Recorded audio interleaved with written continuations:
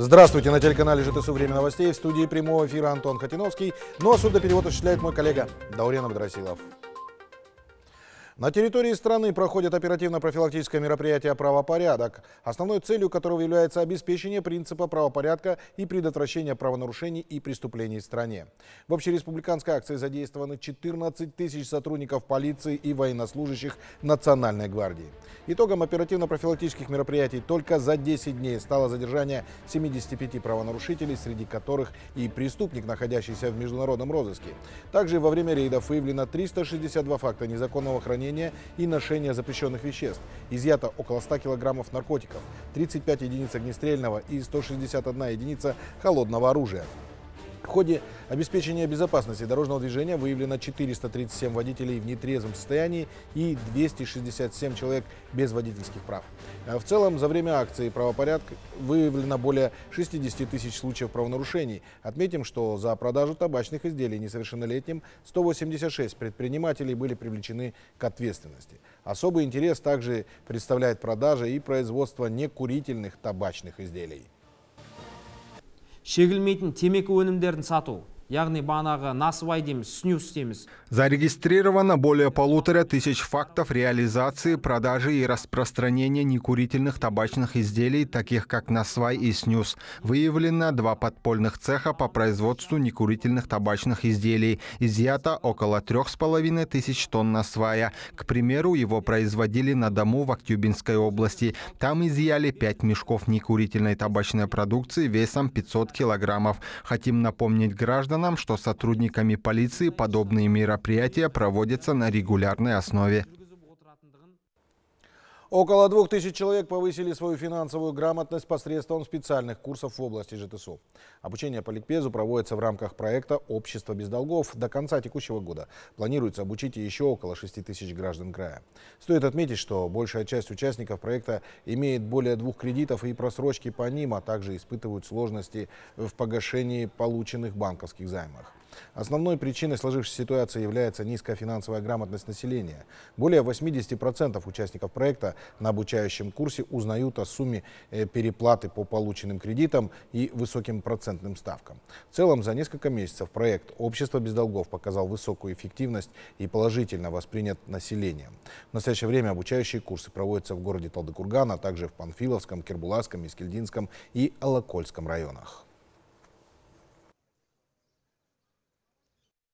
В рамках нашего проекта работают еще юристы. Какую помощь оказывают юристы? Всем людям, у которых есть долги перед банками, э, которые не могут оплатить свои долги. Среди них есть люди, которые больше одного года не могут выплатить свои кредиты.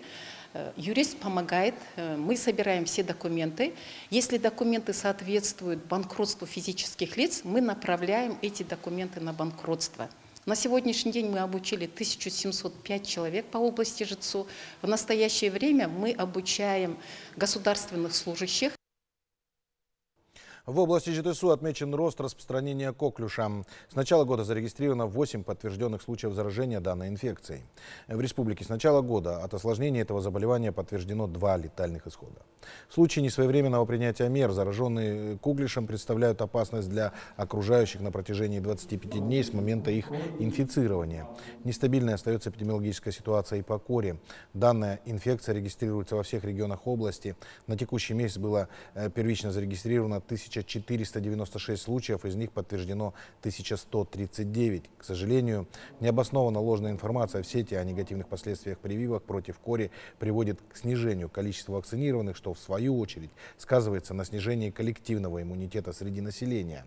Также, по словам специалистов, в связи с паводками в стране из-за смешивания сточных вод с грунтовыми возникает риск развития инфекционных заболеваний, особенно острой кишечной инфекции, в частности вирусного гепатита А.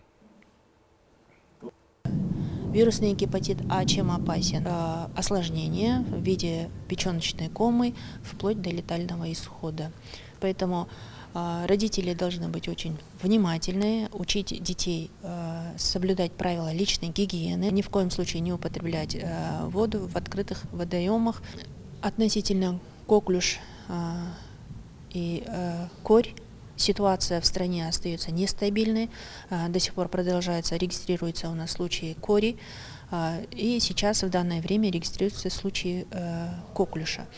Это связано с тем, что дети, которые в основном заболевшие коклюш и корь, это не привитые, к сожалению. А, не привиты э, по причине того, что не достигли. Есть дети, которые возраста прививки, и есть дети, в большинстве случаев составляют это дети, которые родители отказались от прививок.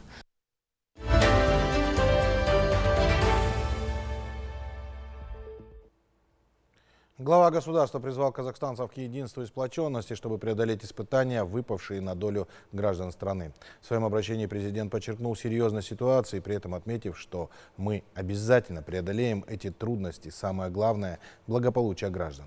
Наряду с этим Касымжимар Тукаев поручил заместителям э, главы правительства выехать в пострадавшие от паводков области э, для координации дальнейшей работы по устранению последствий стихийного бедствия. Они будут пребывать там, пока ситуация не стабилизируется. Информационный штаб должен постоянно и всесторонне информировать граждан обо всех принимаемых государством мерах, подчеркнул глава государства.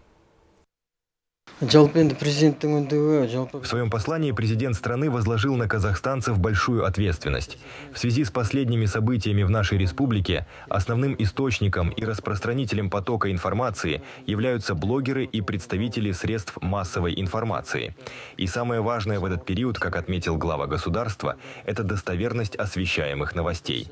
Действительно, это непредсказуемая природная катастрофа для нашего населения. И в этой связи именно сейчас мы должны действовать сообща и оказывать друг другу всестороннюю поддержку. Это все временные трудности. За закатом всегда наступает рассвет. Даже сам глава Кабинета министров совершает объезды в пострадавшие от наводнения регионы. В центральной мечети «Имам» состоялась благотворительная акция «Айтык Дастархан», в рамках которой представителям социально уязвимых слоев населения были выданы продовольственные товары. Это коробка с продуктами питания и мешок лука. Э, продовольствие получило около 120 семей, которые заранее подали заявку на участие в этой акции. Одними из первых продовольственные товары получили члены общественного объединения СНРАУ. Э, кроме того, в рамках акции в священный праздник Курбан-Айт имамы посетят дома престарелых. Пожилым гражданам областного центра выдадут небольшие подарки, а также сладости. В последний день Великого Поста каждая семья, которая заранее подала заявку, получила коробку с продовольствием. Также хочу отметить, что завтра, 10 апреля, в рамках нашей благотворительной акции мы будем раздавать сладости. Это древняя традиция. Помимо нашей акции, в регионе организовывается масса других благотворительных мероприятий.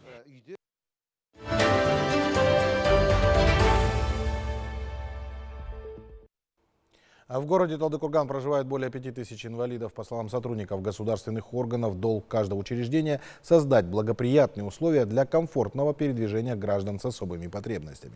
Однако специалисты отмечают, что в областном центре немало социальных объектов, не обеспеченных необходимыми условиями. Так, около 53 зданий Талдыкургана не соответствуют современным стандартам. Это отсутствие пандусов, тактильных полос и доски Брайля.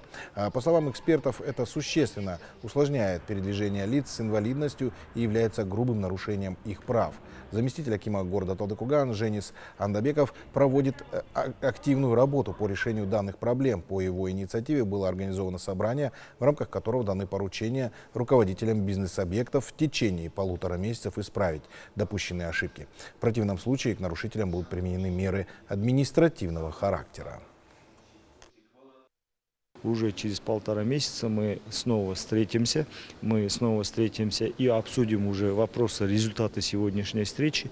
Мы поощрим те, тех предпринимателей, которые э, пошли навстречу и, э, скажем так, устранили выявленное, установленное нарушение, а уже, соответственно, те предприниматели, которые не устранили или не приняли соответствующий мер, то уже со стороны Департамента труда, социальной защиты и миграции в области ЖЭЦУ будут приняты меры административного воздействия, административные штрафы э, по выявленным нарушениям. Воплощаем мечты в жизнь. Программа «Аула Аманаты» в регионах набирает обороты. Жительница Сарканского района Шигазгуль Даулетхан смогла реализовать давние планы. Благодаря участию в государственном проекте «Бизнес-леди» открыла свою кулинарию. С предпринимательницей встретилась наша съемочная группа. Говорят, что еда, приготовленная с любовью, всегда гораздо вкуснее и полезней. Именно так, с положительным настроем, старается готовить предпринимательница Шигазгуль Даулетхан. Мастерству кулинарии она училась у матери. С годами она повышала квалификацию. А теперь смело может делиться опытом с молодыми сотрудниками своего небольшого кондитерского цеха. Благодаря государственной поддержке бизнес-леди сумела превратить любимое дело в источник дохода. О программе «Аул Аманаты» я услышала от жителей нашего района. Чтобы узнать подробности о проекте, обратилась в местный акимат за информацией. Наши специалисты очень помогли мне в сборе документов и получении консультации. Я им очень благодарна. Можно сказать, что благодаря их участию я смогла воспользоваться государственной поддержкой и начать свое дело. Документы я сдала в СПК ЖТСУ. В итоге мои мечты осуществились. Проект «Аул Аманаты» помог мне реализовать задуманное. Кулинарии Шигазгуль производят не только кондитерские изделия, но и традиционную национальную продукцию. Большим спросом пользуются баурсаки, курт и ремшик. За небольшой период времени ее кондитерский цех уже завоевал популярность среди местных жителей, поскольку готовят здесь действительно вкусно, а вся продукция всегда свежая и хорошего качества. Шигаскуль занимается производством национальных блюд такой продукции, как курт, ремшек, масло. У нее можно приобрести свежие баурсаки. Ассортимент очень большой. Казахи вообще гостеприимный народ, и ни одно застолье не обходится без всего перечисленного. Тем более сейчас на Узашар мы стараемся нагревать богатый дастархан, а времени приготовить все необходимое не всегда хватает. Очень выручает наша кулинария. Это так удобно для хозяек. При этом вся продукция свежая свежее и отменного качества.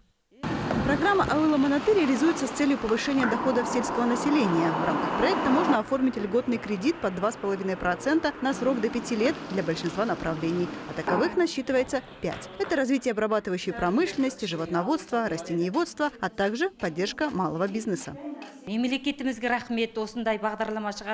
Я благодарна государству за то, что для людей разработаны такие программы, ведь они помогают обеспечить их работой. Это очень хорошее подспорье для казахстанцев. Два года нам дают каникулы, а последующие семь лет я буду постепенно погашать займ. Я взяла кредит на 5 миллионов тенге. 4,5 миллиона у меня ушло на приобретение необходимого оборудования. Остальные деньги будут потрачены на закуп продуктов. Государственное финансирование я направила в нужное дело. На сегодня в Сарканском районе для участия в программе «Аула Монаты» подали заявки 24 предпринимателя. В случае одобрения их идей в регионе будут реализованы проекты общей стоимостью 141,5 миллион тенге. Надежда Белова, Гульжанат Мухлужанова, Абзал Мусипов, телеканал ЖТСУ.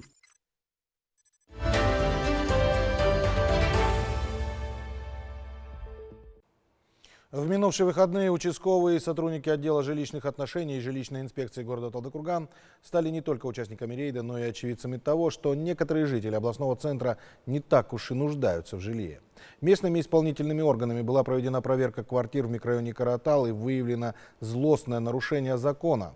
Жилплощадь, полученная в аренду из государственного жилищного фонда предприимчивыми горожанами, попросту сдавалась в субаренду. Какая ответственность ждет нарушителей закона и как в целом обстоит ситуация по жилищному вопросу в Талдыкургане, расскажет наш корреспондент. Около 15 тысяч граждан нашего региона стоит на очереди на получение жилья из Государственного жилищного фонда. Местные исполнительные органы отмечают, что в настоящее время специалистами ведется разработка проекта сметной документации на 36 многоэтажных домов, которые в скором будущем появятся в 11 и 12 микрорайонах. Видя, как активно ведется строительство, жители готовы ждать счастливого момента. Однако есть и те граждане, которые становятся в очередь, не испытывая нужду в жилплощади. После получения жилья в аренду они сдают ее в субаренду. В минувшие выходные выходные сотрудниками местных исполнительных органов был проведен рейд для выявления именно этих недобросовестных горожан. Э, вы знаете, сегодня в городе Талткурган есть очередь для получения жилья из государственного жилищного фонда. Сегодня по нашему городу в этой очереди состоит более 15 тысяч человек. Но, к сожалению, у нас есть да, вот ряд информации, что нашими гражданами нарушаются эти условия. Вот в связи с тем мы хотим э, провести данный мониторинг. По результатам мониторинга нами будут приняты законные меры в рамках правового поля по э, расторжению ранее заключенных договоров и возврату э, жилья в государственный жилищный фонд. Соответственно, далее эти возвращенные квартиры, жилье также будут предоставлены очередникам, которые действительно нуждаются.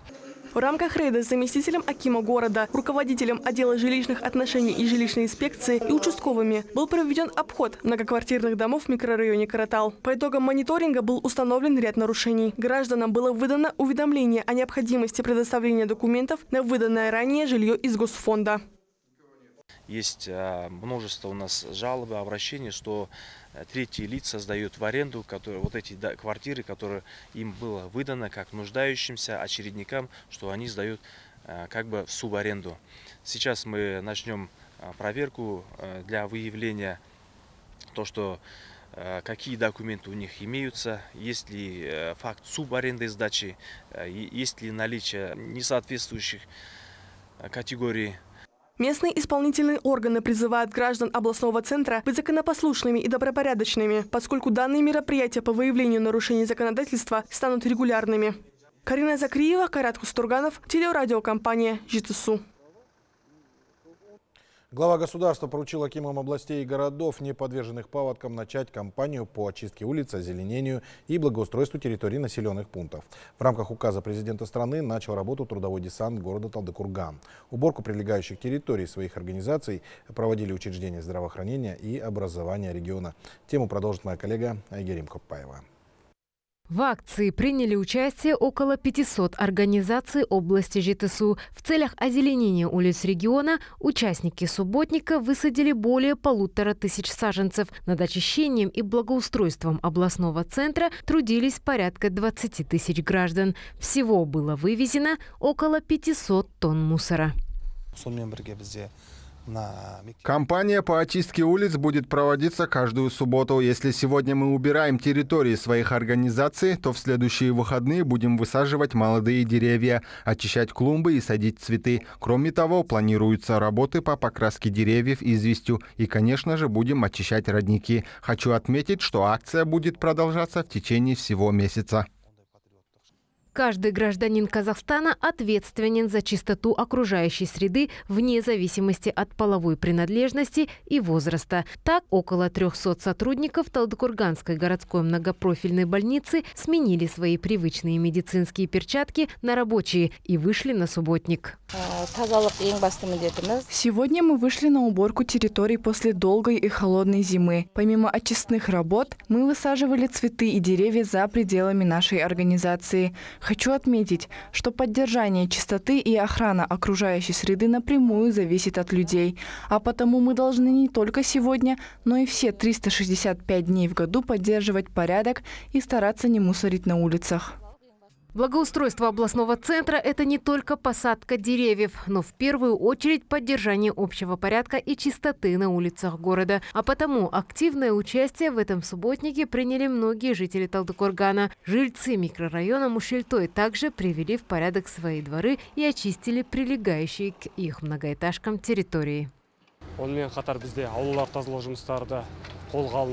Хочу отметить, что субботник проводился и во дворах областного центра, в ходе которого жители Талдукургана приняли активное участие в уборке, озеленении и благоустройстве дворов. Также в акции участвовали и сотрудники отделов городского акимата, призывая всех жителей региона не оставаться в стороне от таких мероприятий. Так мы сделаем наш город чище и красивее. Стоит отметить, что массовый субботник был направлен на улучшение экологической ситуации не только в городе Талдыкурган, но и во всем крае ЖТСУ. Причем главная цель этого мероприятия – привить жителям региона бережное отношение к окружающей среде. Айгерим Коппаева, Ернур Медет, Жаик Курманбаев, телерадиокомпания ЖТСУ.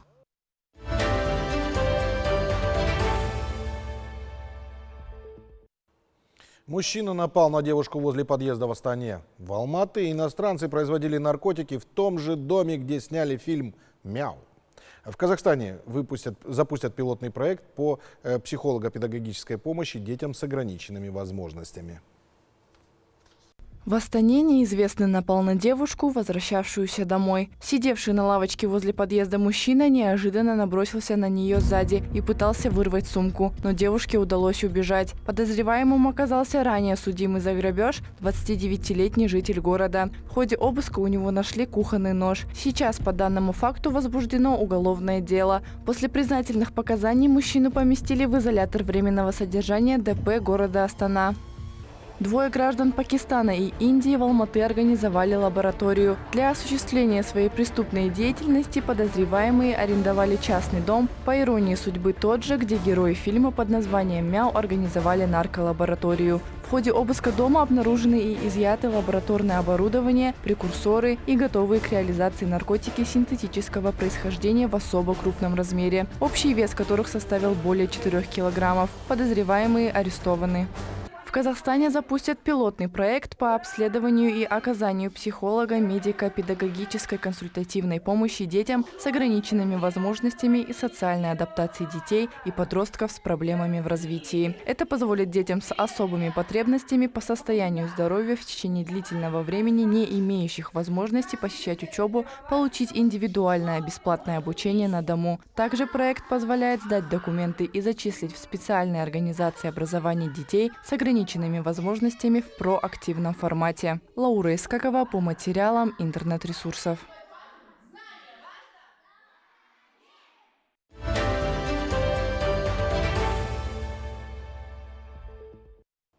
В России ввели штрафы до 1 миллиона рублей за назойливые телефонные звонки. В Китае стая обезьян напала на туриста и заразила его опасным вирусом. А вот США выпустили съедобные наушники AirPods. 6 апреля президент России Владимир Путин подписал закон, устанавливающий штрафы до 1 миллиона рублей за спам-звонки. Он вступит в силу через 10 дней со дня опубликования. Документ вносит соответствующие изменения в законодательство о рекламе и предполагает ужесточить ответственность за назойливые рекламные звонки. В гонконгском парке Камшан путешественник попал в реанимацию после нападения стаи обезьян, от которых он заразился опасным вирусом. Животные набросились на туриста и исцарапали 37-летнего мужчину. Спустя несколько часов у него поднялась высокая температура. Пострадавшего экстренно госпитализировали. Уточняется, что в медицинском центре у туриста начался отек мозга. Его состояние оценивалось как критическое. После проведенных анализов врачи установили, что обезьяна могла заразить мужчину обезьяньим герпесом герпесом. Креативный бренд Mischief представил съедобные наушники AirPods стоимостью 50 долларов. Информация о товаре на днях появилась на официальном сайте компании. Конфеты продаются в белой упаковке с надписью Candy AirPods. Дизайн повторяет внешний вид продукции Apple. Первая партия новинки была раскуплена почти сразу. Также на сайте бренда указано, что продукт не содержит ГМО, жиров и аллергенов, а сами конфеты имеют мятный привкус. Лаура Искакова по материалам интернет-ресурсов. Таким был день сегодняшний глазами наших корреспондентов. До следующей встречи в эфире телеканала ЖТСУ. И только хороших новостей. До свидания.